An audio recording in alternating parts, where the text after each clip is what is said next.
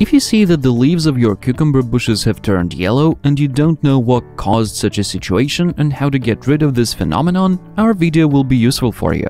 Today we're going to discuss what factors can affect the change in the color of the leaves of this crop, as well as some effective methods of control that will help your cucumbers refill with juicy greens. If the leaves turn yellow unevenly, while a specific brim appears on their edges, this may mean that the plant is deficient in potassium, phosphorus, and magnesium. The situation can be easily corrected with the following natural but very effective fertilizer.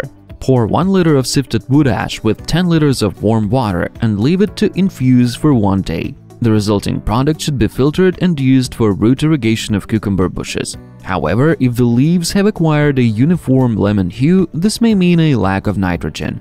In this case, a solution of manure or ammonium nitrate will come to the rescue. It also needs to be used for root irrigation of our plantings. The prevention of nutrient deficiencies in the soil should be carried out even at the stage of preparing the cucumber beds.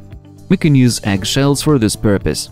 When planting cucumbers in the spring, simply add a handful of crushed eggshells to the hole.